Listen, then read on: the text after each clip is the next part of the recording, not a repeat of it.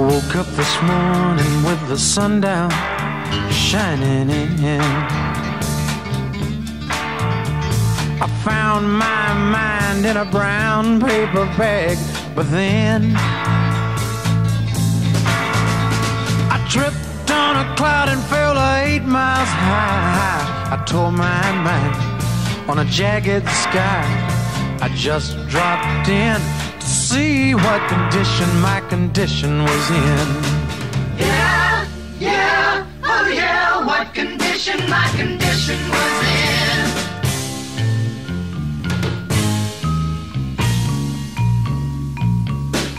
I pushed my soul in a deep dark hole and then I followed it in. L'incroyable histoire du flipper The Big Lebowski.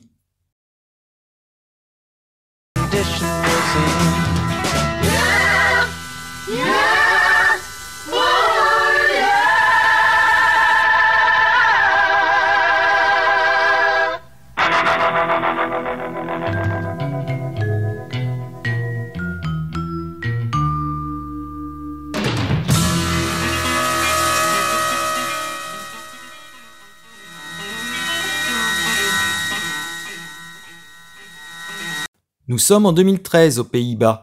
Des passionnés de flipper et fans du Big Lebowski conçoivent leur tout premier prototype de flipper. Ils rêvent de concevoir et commercialiser un flipper Big Lebowski. Dans l'ombre, Roger Sharp négocie auprès d'Universal Pictures les droits d'exploitation. Le prototype a été réalisé à partir de contreplaqués, de rampes imprimées en 3D et d'un certain nombre de pièces de flipper standard pour les cibles, les switches, les bumpers et les plots. En 2014, une société jusqu'alors inconnue, basée aux Pays-Bas, et répondant au nom de Dutch Pinball, diffuse sur le net une vidéo trailer qui annonce l'arrivée prochaine d'un flipper The Big Lebowski. Aucun détail sur le flipper lui-même ne filtre dans ce trailer. It all started with a rug. You've been waiting for 69 days. And you've been wanting it. Under an exclusive license from Universal Pictures, Dutch Pinball abides. The Big Lebowski Pinball.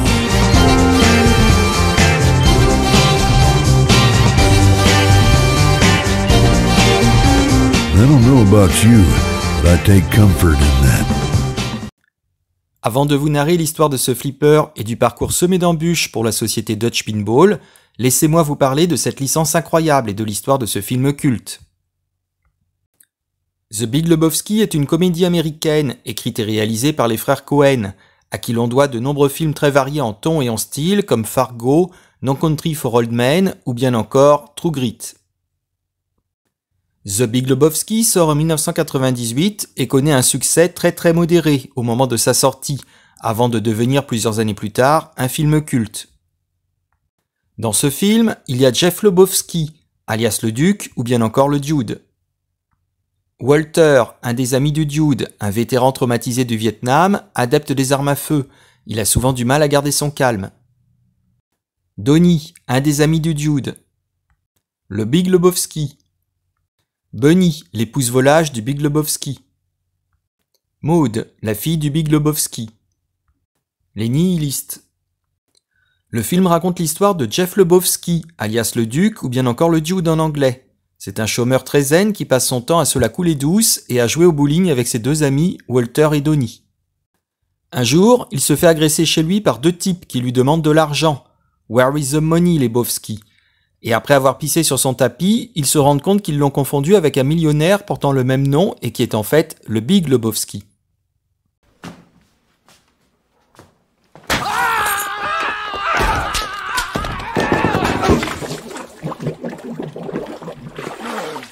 Where's the money, Lebowski? You want that money, Lebowski? Bunny says you're good for it. Where's the money, Lebowski? Where's the money, Lebowski? Where's the fucking money, shithead? It's, uh, oh, oh, it's down there somewhere. Let me take another look. Don't fuck with us. Your wife owes money to Jackie Treehorn. That means you owe money to Jackie Treehorn. Ever thus the deadbeats, Lebowski. No, no, don't do that. Not on the rug, man. See? See what happens, Lebowski? You see what happens? Nobody calls me Lebowski. You got the wrong guy. I'm the dude, man. Your name's Lebowski, Lebowski. Your wife is Bunny. My my wa- my wife, Bunny. Do you see a wedding ring on my finger? Does this place look like I'm fucking married? The toilet seat's up, man.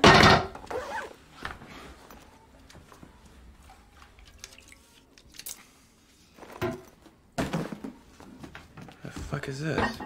Obviously, you're not a golfer. Woo? Yeah. Isn't this guy supposed to be a millionaire? Fuck. Yeah, what do you think? He looks like a fucking loser. Hey, at least I'm housebroken. Fucking time waster. Thanks a lot, asshole. Le dude part à la rencontre du millionnaire pour se faire rembourser son tapis, mais il se fait littéralement envoyer chier. Pour se venger, le dude lui vole un tapis d'Orient et rencontre son épouse, une femme volage appelée Bunny. Oh, fuck it. Oh, fuck it. Yes, that's your answer. That's your answer to everything. Tattoo it on your forehead. Your revolution is over, Mr. Lebowski. Condolences. The bomb's lost. My advice to you is to do what your parents did. Get a job, sir. The bombs will always lose. Do you hear me, Lebowski? The De retour chez lui, le dude se fait assommer par d'autres personnes qui lui volent son nouveau tapis. Le dude se fait alors contacter par l'assistant du Big Lebowski, qui lui apprend que Bunny a été enlevé et il lui demande d'aller lui-même remettre la rançon pour voir ainsi s'il s'agit des mêmes personnes qui lui ont piqué le tapis, et il se fait remettre une mallette contenant un million de dollars. Walter veut tromper les kidnappeurs et garder les 1 million de dollars pour eux, mais le plan échoue puisqu'ils se font voler le soir même leur voiture avec la dite mallette. C'est tout de même pas de peau. Le lendemain, la fille du Big Lebowski, Maud, contacte le dude et l'informe que c'est elle qui lui a volé son nouveau tapis. Elle lui demande ensuite de rendre les 1 million de dollars de rançon étant donné que Bunny se serait auto-kidnappé pour essayer de récupérer l'argent à son profit. Après une petite virée à Malibu, le dude est accueilli chez lui par Maud qui lui révèle que son père n'a en réalité aucune fortune et que c'est elle qui gère l'argent de la famille. Le dude comprend ainsi qu'il s'est fait manipuler et que le Big Lebowski ne voulait pas récupérer sa femme mais qu'il voulait juste garder l'argent pour lui. Il se rend compte qu'il s'est fait berner et que la première mallette qui lui avait été donnée était en fait dépourvue d'argent. Le dude repart se confronter au Big Lebowski et découvre en réalité que Bunny est de retour, qu'il n'y a jamais eu de kidnapping et qu'elle avait juste pris des vacances sans prévenir. Le dude revient au bowling mais se fait agresser par des prétendus kidnappeurs qui demandent toujours plus d'argent. Après un combat épique, Donnie succombe d'une crise cardiaque et meurt. Walter et le dude répandent les cendres de Donnie. C'est une scène triste et cocasse à la fois, et ils repartent ensuite au bowling. Le narrateur du film conclut l'histoire, et c'est la fin du film.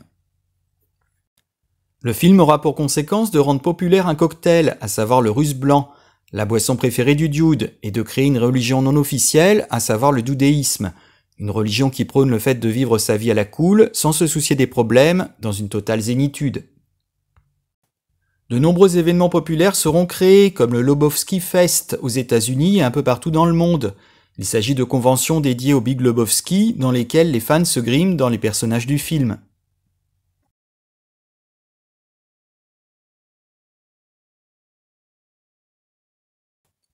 On voit que de nombreux fans aiment vraiment le dude, et plus précisément sa philosophie de vie, en particulier son mode de vie plutôt reclus et déconnecté de la société.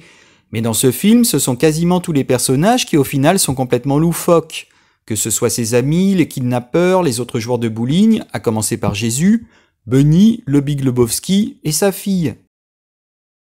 Jésus, un des nombreux personnages loufoques du film.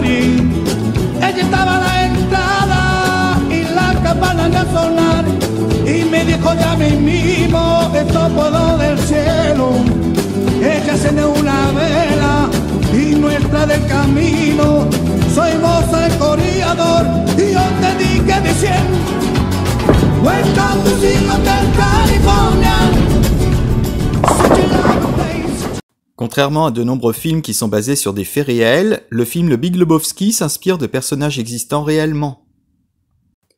Et oui, le Dude existe réellement. Dans la vraie vie, le Dude s'appelle Jeff Dode. Dans le film, le Dude est présenté comme un type fainéant, un gars au chômage qui préfère signer un chèque de 91 centimes plutôt que d'aller se chercher une bouteille dans un distributeur. Dans la vraie vie, le Dude s'appelle Jeff Dode, et il n'était pas si fainéant que ça puisqu'il a travaillé de nombreuses années dans le marketing et la distribution de films.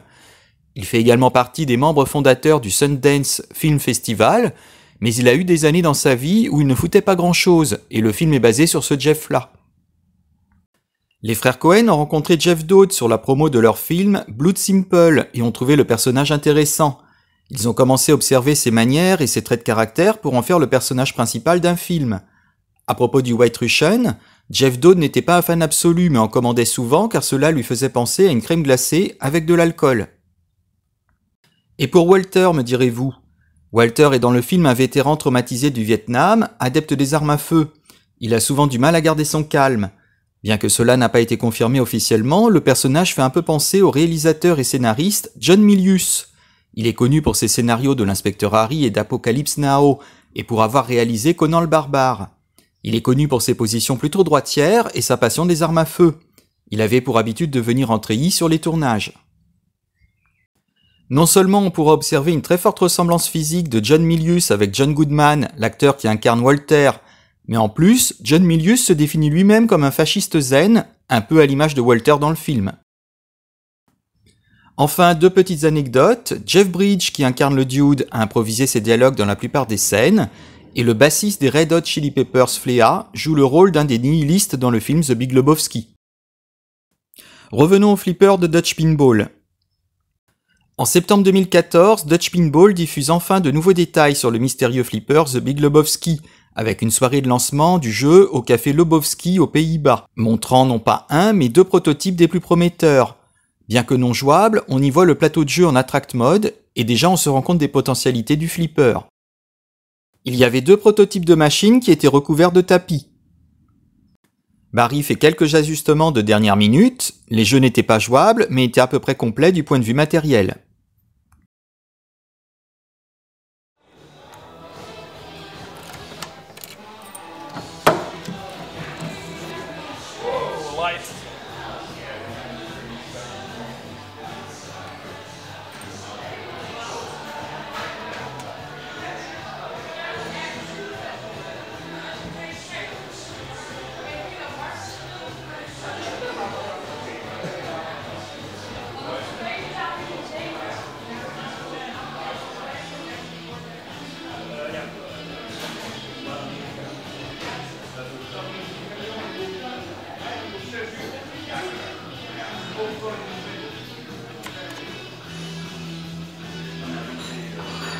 John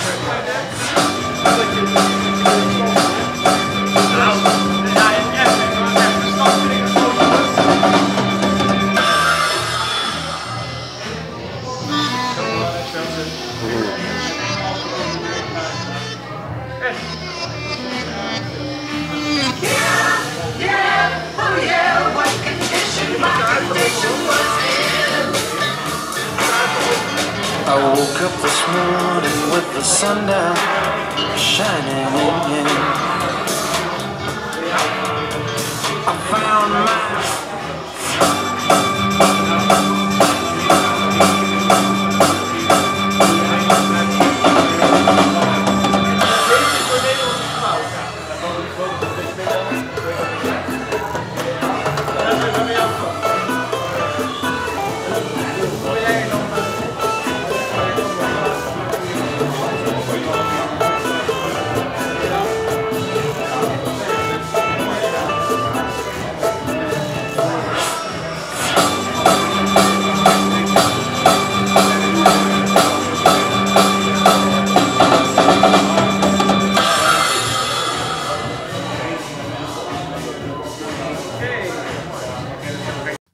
peut voir que le flipper dispose d'un plateau de jeu principal, d'un plateau de jeu inférieur avec une piste de bowling et d'un plateau de jeu supérieur.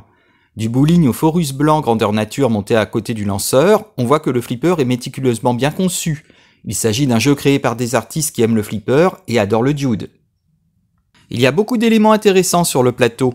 Il y a notamment des bumpers inspirés du soutien-gorge en forme de boule de bowling que Juliana Moore porte dans l'une des scènes fantastiques de The Dude. Il y a le petit garage modélisé avec une porte qui fonctionne et la voiture à détruire comme dans le film. Et le tapis au centre qu'il faut dérouler sans oublier le plateau inférieur avec la piste de bowling. Après la soirée de lancement qui s'est tenue fin septembre 2014 à Utrecht, l'équipe de conception de Dutch Pinball participe à la cérémonie du Chicago Pinball Expo les 10 et 11 octobre 2024 avec trois prototypes jouables. Barry a déclaré lors du show que l'équipe travaillait sur le jeu depuis 2013 et que la production était prévue pour le deuxième trimestre de 2015. Il a également parlé du soutien que l'équipe a reçu de la plupart des détenteurs des droits et de la difficulté particulière qu'ils ont eue avec l'un d'entre eux. Le flipper était proposé en précommande à 8500 dollars et il fallait le commander avant le 31 mars 2015, uniquement avec un tirage limité de la machine, pour une sortie prévue au deuxième trimestre 2015. Si on se remet dans le contexte de l'époque, 8500 dollars pour un flipper cela paraissait énorme, aujourd'hui on signerait les yeux fermés pour un Big Lebowski à ce prix.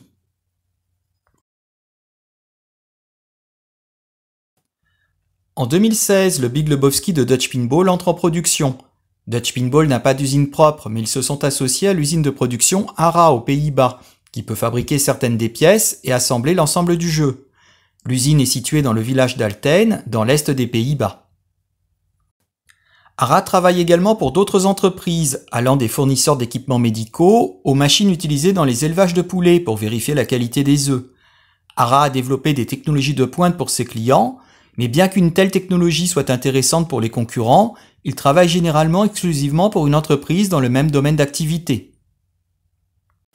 ARA a en fait été impliqué dans la recherche et le développement de The Big Lebowski, y compris la disposition de la grande carte de circuit imprimé PCB sous le plateau de jeu. L'objectif d'ARA est de fabriquer à terme 4 jeux par jour. Ils y parviendront en produisant beaucoup moins de jeux au cours des premières semaines, puis augmenteront lentement la production, chaque semaine, une fois qu'ils auront acquis plus d'expérience. Leur objectif est d'être aussi efficace que possible, de rationaliser le flux de travail et de garder juste assez de pièces à portée de main pour maintenir la production sans avoir un énorme inventaire qui prend de la place dans l'usine. Dans l'usine, plusieurs zones sont dédiées à différentes tâches. Semblable à Stern, il y a la section d'assemblage des câbles et juste à côté se trouve une section plus grande pour l'assemblage des modules. ARA a sa propre production interne de cartes de circuit imprimées qui est logée dans une zone séparée sur le sol de l'usine, où seules les personnes habilitées sont autorisées à entrer, portant des vêtements antistatiques spéciaux. L'ensemble du processus de fabrication des PCB est automatisé et certifié selon certaines normes ISO. La zone de fabrication électronique. À gauche, la zone de montage électrique et électronique et à droite, la salle des stocks. ARA applique une méthode de production allégée où les assemblages sont créés ou livrés selon les besoins, juste à temps pour être incorporés dans le produit fini.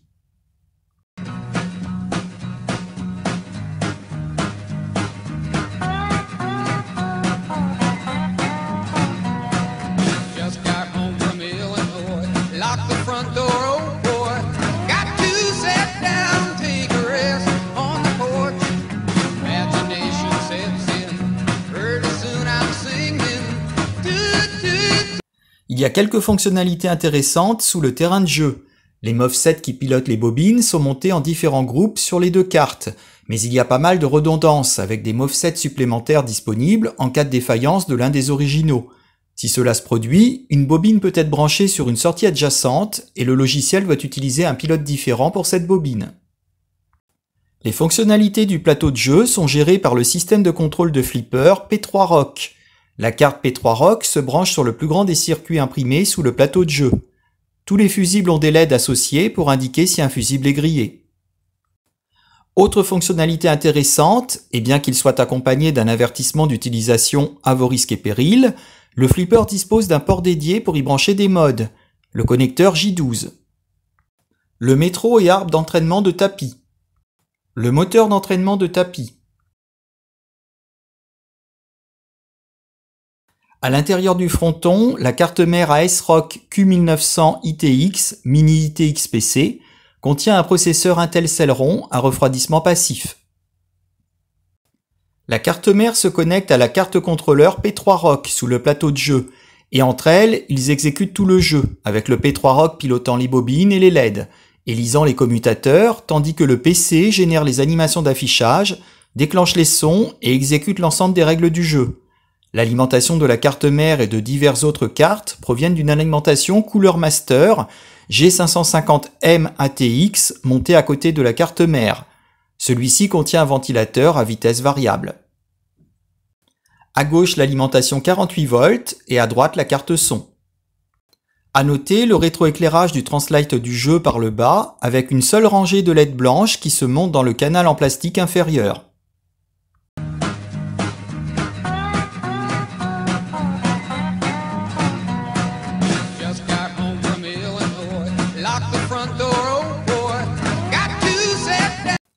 Après qu'une cinquantaine de passionnés aient reçu leur commande, il y a eu un hic.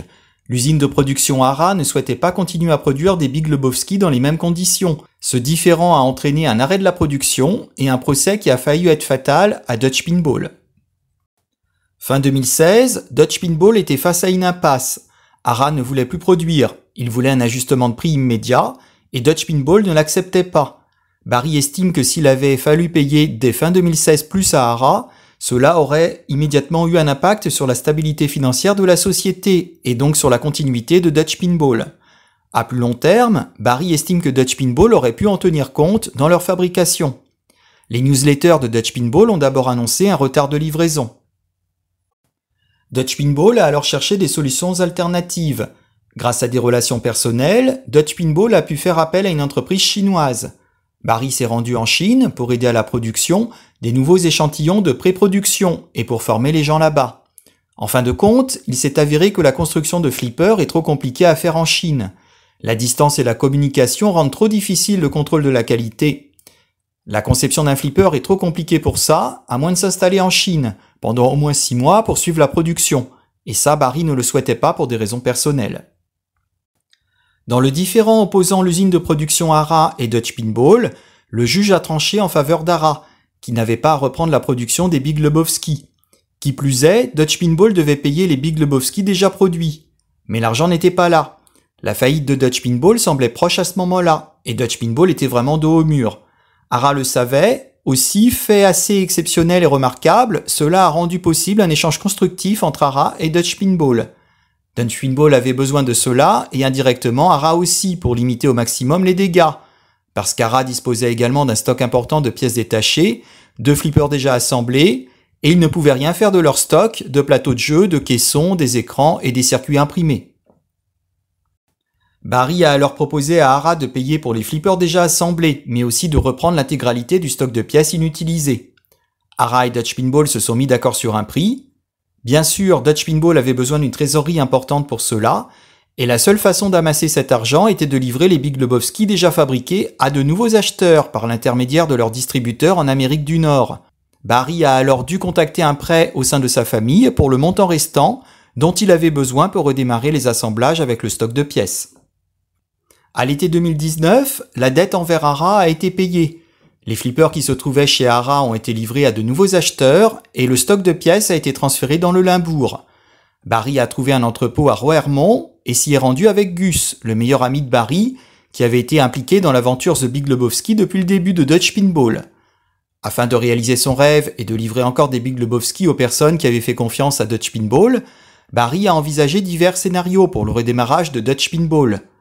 Au final, Barry a opté pour un redémarrage prudent. Dutch Pinball a loué un espace commercial à Roermond, des racks ont été remplis de bacs pour les pièces et des outils, et avec l'aide d'amis, Dutch Pinball a réussi à fabriquer et à livrer environ 20 nouveaux Big Lebowski en 2019. Un redémarrage très en douceur avec les moyens du bord. Barry déclarera Quelle sensation géniale ce fut lorsque les premiers Big Lebowski de la nouvelle production furent prêts. En 2020, en pleine période du Covid, parce que Dutch Pinball dispose encore de pièces en stock suffisant et que l'expérience grandit, le rythme de production est d'environ 4 flippers en deux semaines. L'ambition de Dutch Pinball est de passer à 4 flippers par semaine au premier semestre 2020. Pour rendre cela possible, Dutch Pinball a besoin d'un bon personnel formé et doit organiser la zone de production encore plus efficacement. Plus de personnel, c'est aussi former, gérer, contrôler la qualité. Il viendra aussi un moment où il faudra faire plus attention à la logistique, commander les pièces et livrer les flippers, car pour le moment Barry gère tout seul la logistique. Il reste encore à livrer les premiers souscripteurs. Pour Barry, livrer tous les Big Lebowski commandés est une question d'honneur. Si la base financière est plus stable, l'idée est de travailler selon le principe suivant. Quand deux nouveaux Big Lebowski sont prêts, l'un va chez un nouvel acquéreur, ce qui permet de récupérer de la trésorerie, et l'autre va chez un premier souscripteur. De cette façon, les flux de trésorerie de Dutch Pinball sont maintenus, ce qui est important pour la survie de l'entreprise à plus long terme. 2022. Alors que l'aventure continue pour la production du Big Lebowski, Dutch Pinball organise le 27 mai 2022 une véritable pendaison de crémaillère avec visite de leur nouvelle usine.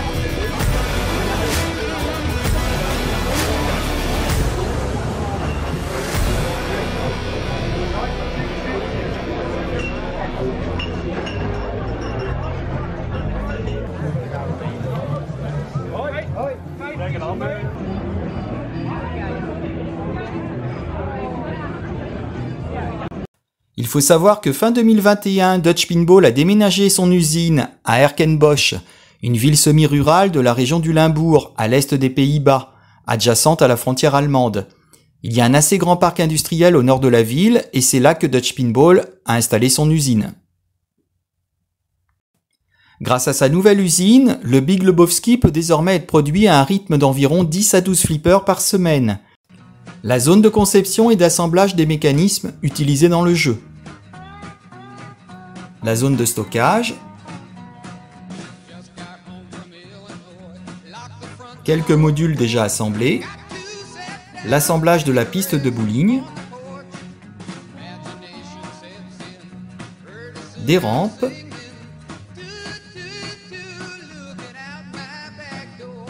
Au centre de l'usine se situe l'endroit où tous les éléments sont installés sur le plateau de jeu.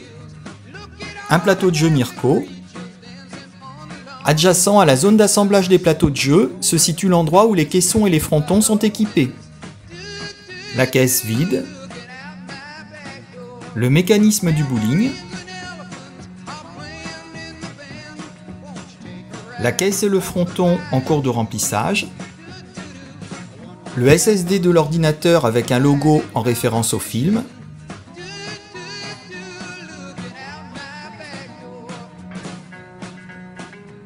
une rangée de jeux terminés prêts à être pliés, emballés et expédiés. Il existe deux modèles de tablier. Sur cette photo, il s'agit du modèle de base non éclairé, tandis que l'autre a des inserts illuminés. Sur cette photo, il s'agit du modèle de tablier avec les inserts illuminés. Le circuit imprimé équipé de LED pour éclairer le tablier inférieur. Un lot de vitres. À gauche le plateau en version prototype, à droite le plateau finalisé. Le plateau de bowling. L'intérieur du fronton. Dutch Pinball arrive à son millième exemplaire produit et a un objectif de production de 1400 exemplaires environ. Pour cela, l'entreprise est à la recherche de nouveaux travailleurs pour la chaîne de montage car elle envisage de stopper la production d'ici fin 2024. Barry envisage d'annoncer son futur titre vers septembre 2024. Il s'agira d'une grosse licence.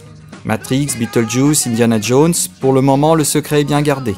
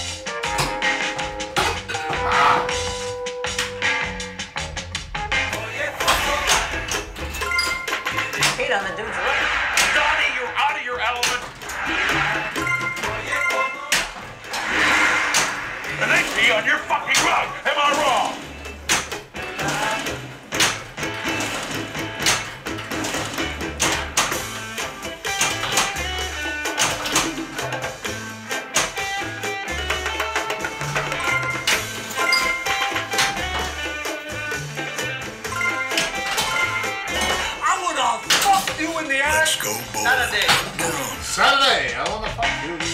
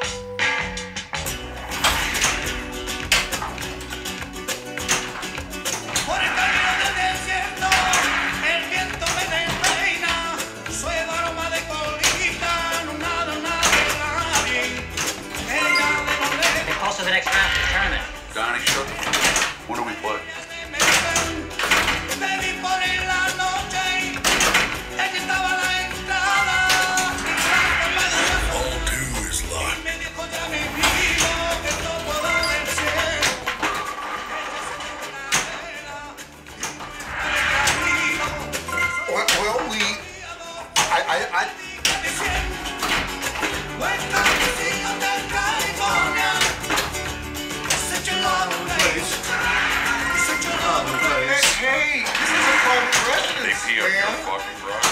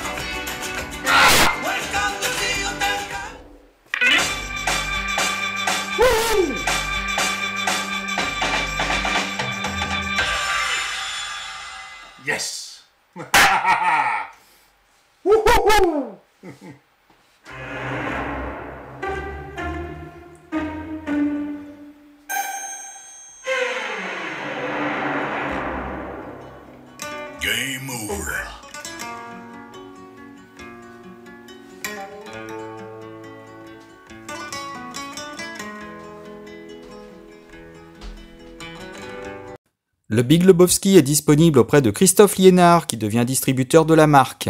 Il propose le Big Lebowski sans option à 13 500 euros TTC, le Big Lebowski avec apron lumineux et miroir tollé à 14 240 euros.